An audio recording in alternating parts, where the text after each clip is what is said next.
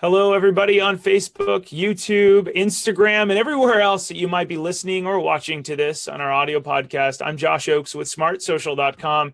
Today, I want to ask you Do your kids have a screen time addiction?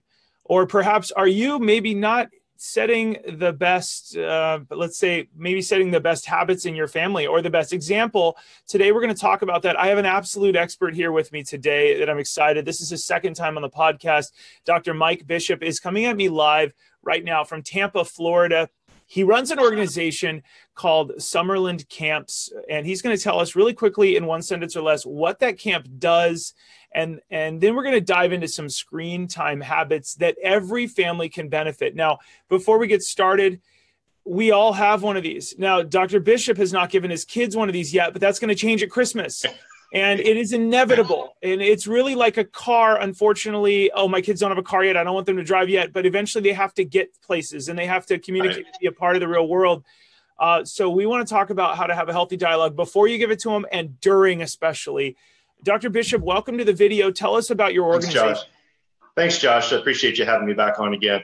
Yeah, so Summerland Camps, uh, we've got two locations, uh, one in North Carolina, uh, one in California. Uh, we're a summer camp for kids that have some habits with screen time uh, behaviors, whether that's video games, overusing social media, uh, or just basic internet browsing. And uh, they need to learn uh, how to live with technology. You know, we can't apply old 12 uh, step models to technology. So we use a totally different approach. It's a coaching approach. And we get them excited about their future and talk about goal setting. And it's a, it's a uh, fantastic opportunity for for kids that are having problems with uh, uh, overuse of screen behaviors. All right, let's talk about those problems. So let's dive into what are some red. You've got a ton that you're going to share with us. What are the red flags that we should look at to find out if our kids have screen time bad habits?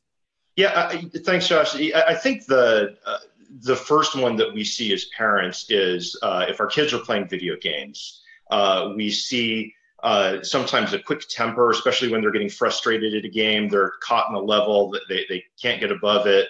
Uh, you know, we, we, we see the blood rushing to their face. And uh, especially if you uh, add on to that, you're, you then ask them to get off the game and they, and they, maybe they, uh, you know, uh, lash out verbally at you. So seeing that quick temper and, and seeing that the game has kind of got control over, over their moods and they're not able to, you know, to self-soothe when they're playing video games.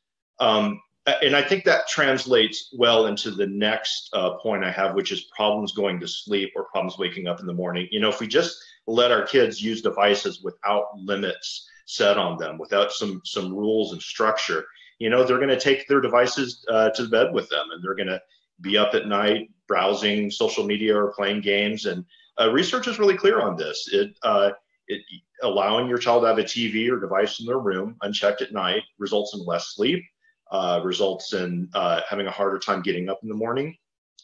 Uh, and then the third uh, point I'd like to make is uh, a definite red flag is when you see your child passing up normal opportunities for socialization or outside play. You know, when you when your kid is uh, exclusively socializing through the Xbox, for mm-hmm. example, um, you know, there's a lot of social learning that goes on with your neighborhood pickup games of basketball, kick the can.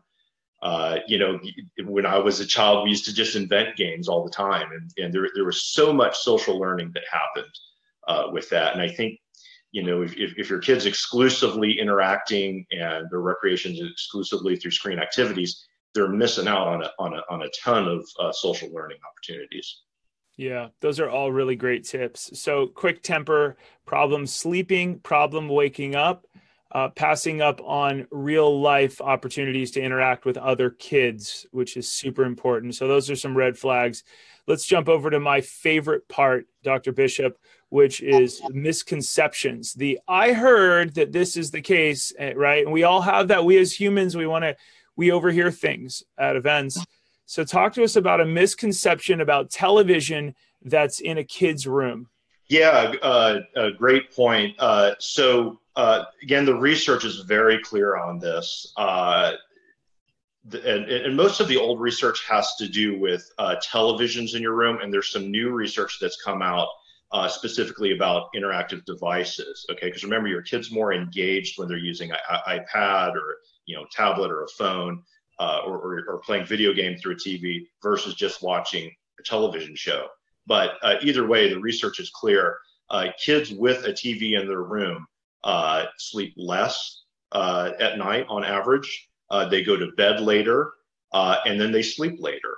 Uh, now, the the impact differs uh, depending on which study you look at, but the the the consensus is the overwhelming consensus in the scientific community is that absolutely having a screen in your child's room when they should be asleep impacts sleep across the board.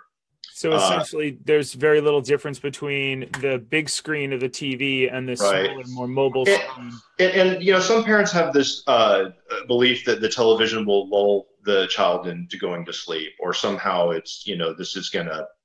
Uh, I, I think when when you look at the overall picture, uh, cost benefit, uh, you know, the, the cost outweighs the benefit of having a, a, a TV in your child's room. Got it. So yeah, and uh, we like to say the out the downside does not outweigh the or the downside outweighs the upside, which is a lot like our anonymous apps, our green zone apps, where your student might be hanging out, like, oh no, but mom, it's cool. But the the, the opportunity for something really bad to happen to your family very yeah. much outweighs the little opportunity of an upside. Right, right. Now, let's talk about this. Another misconception. I'm going to be devil's advocate, but I heard that the way I use the web or the way I use my screen time doesn't affect my kids. Yeah, well, it absolutely does. Uh, you know, as a parent, you're role modeling for your child, and and your child's going to mimic your behavior. You know, if you want your child to read more, then you need to sit out in the living room and read more. Uh, so you know, if you're uh, if your child's screen activity is too much, you, you need to start by looking at your own. The other thing with uh, parents spending a lot of time on the computer or their phone is when they're around their child is that, uh, you know, your child might be trying to get your attention, you know, and you're missing out also on opportunities to interact with your child. So, uh, you know, if your child needs your attention, they could be more likely to act out uh, to get your attention if you're absorbed in your device. Yeah, that's very interesting too. So we just talked about two misconceptions. TV might lull a kid to sleep. Not true. The data shows differently, and personal screen activity of the adult uh, does affect your children, and and so on. So I think that's very interesting. Thank you for those. All right, let's talk about how can parents help their children develop positive screen time habits. You've got a few tips there. Talk to us about explaining the purpose of a limit. Right. So, uh, you know, when obviously uh, children need limits when you first introduce the device to them. So, how you go about enforcing those limits or explaining those limits initially is critical. Uh, you know, you shouldn't approach it just from an authoritarian standpoint that, uh, okay, you only get this an hour a day, you can only go to these websites, this is what you have to do uh, end of story. You really have to explain to the child why that is. You have to uh, like i was speaking about in my other uh, uh, conversation we had you have to develop that intrinsic motivation in the child to really understand uh, what the limits are what the dangers are um, and you know and what you can do is when you're explaining okay this is why we don't uh, play video games after six o'clock on a school night you can show them the research, uh, help them understand, you know, the effect of uh, screen activity on sleep, on their grades, on brain development. There's plenty of good research out there.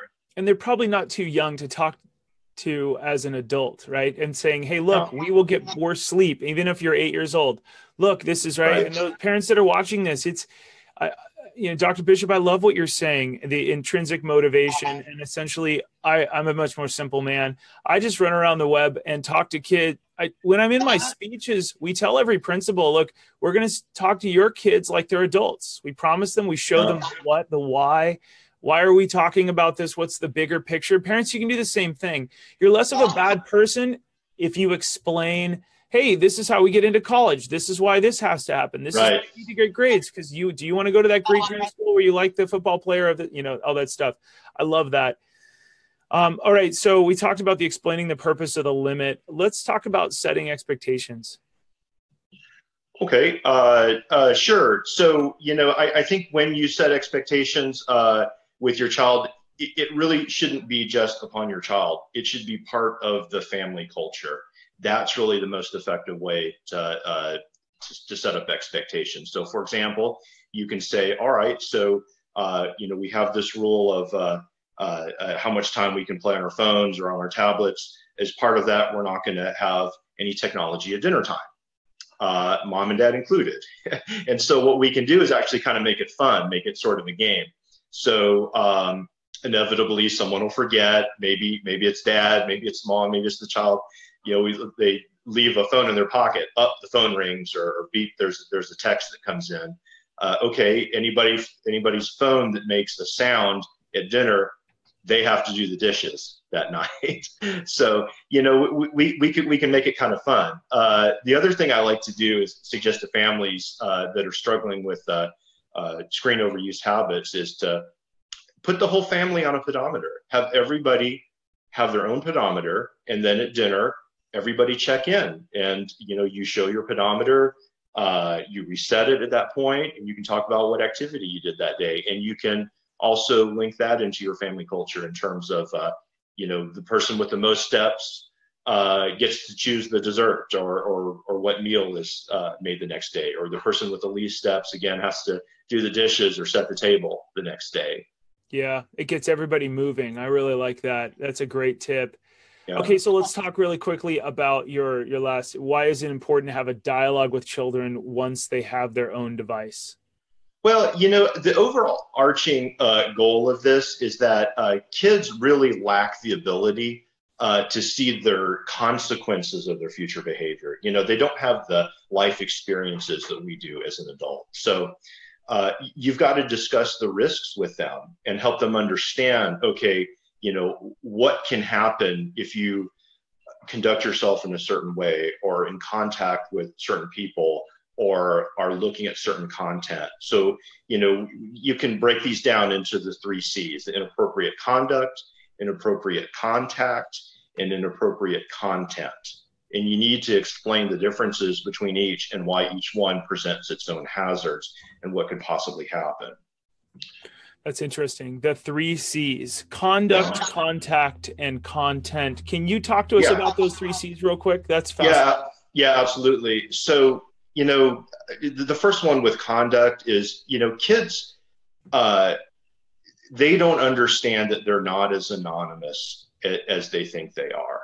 And so, uh, you know, uh, they might be posting things about teachers or about friends or, you know, maybe it's even, you know, they're joking around online making comments. Uh, you know, some some kids might uh, you know make a facebook or an instagram profile of uh, somebody they don't get along with at school or maybe somebody that they do they're just making a joke about and they don't understand that there's real consequences uh, for this type of conduct uh, they're they're not as anonymous as, as they think they are if uh, you know they say something that that's you know that's threatening uh, uh, you know we the you can find their ip address and track them down they, they can get in some real trouble and these kinds of things don't go away um, you know, the second one, uh, inappropriate contact. This one's pretty straightforward, and most kids get this. Is that there are people out there with bad intentions, and that could be as low as an online bully uh, in their in their school. Uh, you know, that's going to uh, maybe somebody that's uh, bullying them, but through you know, you know what we call trolling. They're gonna they're gonna make an identity of someone else and you know kind of trick them and make fun of them. Uh, you know, there's also you know real sexual predators out there online uh, uh, looking for kids. Um, uh, certainly, there's um, you know people that go online that are you know trying to steal information or you know get you to you know give mom dad's credit card or your home address or find out when you're going on family vacations they can break in. So uh, inappropriate contact is, is, is the second category that that children need to be educated on.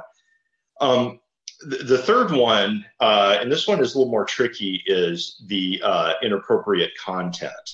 So, uh, you know, uh, obviously, online pornography, some of these websites that uh, they have set up that has violence on them, e- even something like YouTube. You know, they have like these fighting videos on YouTube that that people see. And um, you know, you really need to explain to your child, you know, your brain is like a sponge, and you know what you what you put into your brain is really what you're comprised of is, is, is what you're going to be thinking about and you need to nourish your brain with with healthy images and uh, uh, you know instead of spending your time looking at trash online you know uh, you know go to khan academy and you know get ahead in math or, or go to the nasa website and learn about you know the you know the the next mission or the the space station or you know the, there's you there you know you can go to you know so many different websites and as parents we have to show them that these websites exist you know go go check out the smithsonian online and you know learn about yeah. History and things like this. And, and show uh, them good from bad. I think that's really great. Yeah. Uh, and and and kids don't really especially the, the pornography kind of that sort of warrants its own separate uh, discussion. And we'll certainly be happy to have that at a future date. But uh, you know especially for young boys they don't really understand the damage that they're doing uh, by watching that. You know how uh, women are typically uh, uh you know portrayed in pornography, and that that can potentially hurt their ability to have a normal relationship uh, later in life, especially people with you know uh, you know overuse habits that are that you know really kind of become obsessed with it. So yeah, that's all fascinating. So conduct, contact, and content. Those yeah. are three the three C's. So we've talked about a whole lot here. Um, I want to leave you, you know, you, you talked to us a little bit about the red flags first, and then the misconceptions, and then mm-hmm. developing positive screen time habits, and then how why it's so important to have a dialogue with your kids while they have a phone about the the uh, the positives and the negatives and how to look at it in a healthy way. Uh, Dr. Bishop, I want to leave you with last last word. What what would you tell parents right now that have maybe already given their kids a device or are about to give their kids a device? What's the one thing they should take away? Yeah, I think if you take anything away from this conversation, is that uh, you really need to explain to your kids the why. Why. Why am I setting these limits? Whether it's with time, whether it's with who you can contact, whether it's with the websites or the applications you use, you have to explain why that is, so that they understand and they and they value it. They just and they don't see it as something to well, here's a limit, and I'm going to try to get around it uh, somehow. Because kids are pretty savvy nowadays. uh, if if if they don't understand why they should not do something, they'll probably uh, find a way to get around it. Yeah, we talk to a lot of students. We tell we use a lot of cooking analogies, and a lot of parents will say, "Well, that's a sharp knife." I happen to have a plastic knife in the office from lunch yesterday. I didn't use it, which is embarrassing but hilarious. But well, they'll say, "Well, that's a sharp knife. You should never use it." But we always tell parents, look, why don't you ask your kids, are you hungry? What do you want to eat? How about we make some spaghetti? And then you say, if you told your kids, don't touch that hot stove, they're going to want to touch that. But if you said, hey, we're going to cook spaghetti, we're going to use that hot stove, those sharp knives, and every utensil in here to make a delicious meal. And at the end, you're going to have something to eat. Help me. I'm going to give you tasks. I'm going to give you stuff to do the kids then go, no, that stove is so useful. Yeah, I'm going to yeah. burn myself, but I got so much more to look at and do and resources. I mean, tell them about the end goal, the delicious food that'll pop out of that oven or whatever, yeah. and, and, and include them. Right? Call right. I call kids like an adult, but I mean, there's there's the intrinsic motivation. I mean, so teaching the why uh, is so so crucial. Dr. Bishop, thanks for being on here with us today. Thank you all of you that are listening in, we appreciate everything that you're doing to, help your kids have a healthy dialogue about their online behaviors. Remember, the internet can be very positive when you have a dialogue with your kids. The number one digital safety app is the dialogue that you have with your students. Be where they are at. If they are on Snapchat, please download Snapchat, try it out. You may fail, they may laugh at you and with you, but please be where your children are at. You have a better propensity to protect your kids than any other safety app than your school. You are the number one digital app that's going to wake up at 2 a.m. and go get your kids and retrieve them from a party. No one else will do that. I'm honored to get the chance to hang out with you and experts like Dr. Bishop here today. I'll see all of you on the next episode or at smartsocial.com. See all of you soon. Have a great day.